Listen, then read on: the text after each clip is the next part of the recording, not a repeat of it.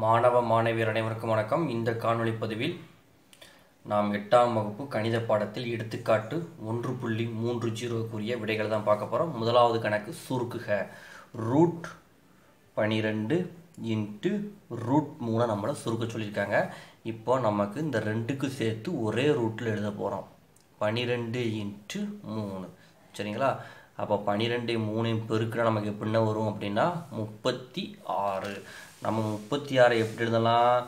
ஆறாரா முப்பத்தி ஆறு. அப்போ ஆறு இன்ட்டு ஆறுன்னு எழுத போகிறோம் இதை எப்படி எழுதிக்கலாம்? ஆறு ஸ்கொயர்டுன்னு எழுதிக்கலாமா?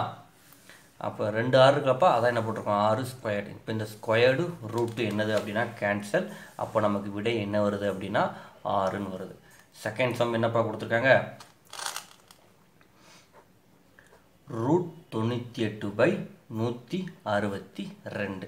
பாருங்க இப்போ ரெண்டுமே என்னது அப்படின்னா முதல் இலக்கம் இரட்டைப்படை எண். அப்போ எந்த வேப்பாடில் கேன்சல் பண்ணலாம்? ரெண்டாவது வேப்பாடில் கேன்சல் பண்ணலாமா? இங்கே ஒன்பது இருக்கா? இப்போ ஓரண்டு ரெண்டு ஈரெண்டா நாலு உயிரெண்டா ஆறு நாலு ரெண்டா எட்டு. மிச்சம் ஒன்று வரும்போது நமக்கு பதினெட்டாக மாறிடும். அப்போ நமக்கு இங்கே நாற்பத்தி ஒன்பது. இது ரெண்டாவது பாட்டில் கேன்சல் பண்ணும்போது எட்டு ரெண்டா பதினாறு ஓ ரெண்டா. ரெண்டு அப்போ நமக்கு என்ன ஆன்சர் வருது பாருங்கள் ரூட் நாற்பத்தி ஒன்பது பை எண்பத்தி ஒன்று இந்த நாற்பத்தி ஒன்பதை நம்ம எப்படி எழுதலாம்? ஏழேலா நாற்பத்தி ஒன்பது. எண்பத்தி ஒன்று எப்படி எழுதலாம்?